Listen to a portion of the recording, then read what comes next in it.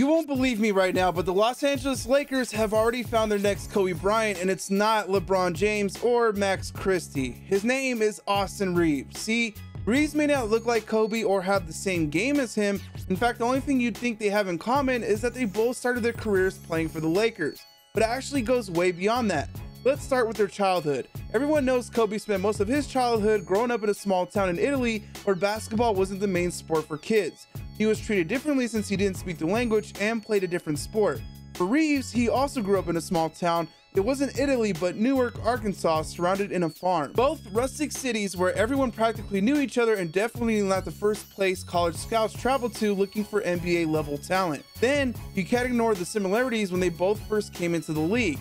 No, Reaves wasn't drafted 13th. Heck, he never even had his name called in the NBA draft. And it's not because their agents both made moves to make sure they'd suit up for the purple and gold either. When Reaves and Kobe first made the NBA, they were put in a situation where it was championship or bust on day one and had to play with the guy or face of the NBA.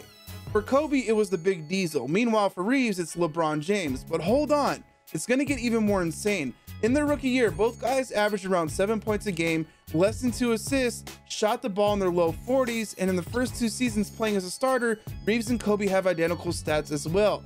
From minutes, points, rebounds, field goal percentage, plus minus, and even assists. Okay, maybe Reaves was a bit of a better passer than Kobe during the start of their careers, but you have to admit the resemblance is a bit mind-blowing.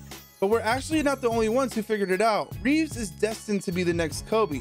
If there was really anyone who knew Reaves would be the next Mamba before anyone else did, it were his teammates in Oklahoma. See, on his first few days in campus after transferring from Wichita State, one of the assistant coaches gave him a nickname. But it wasn't just any nickname, it was foreshadowing of his NBA script. Why? He literally gave him the nickname HBK, which stands for Hillbilly Kobe. And if there's one last similarity you can guarantee that Reaves will get from Kobe's career, it's that he's going to get the bag before he even turns 25. So while Reaves may not look like the next Kobe, his stats clearly say otherwise. And if the Lakers play their cards right this offseason, Reaves might just be the guy to lead them to a title.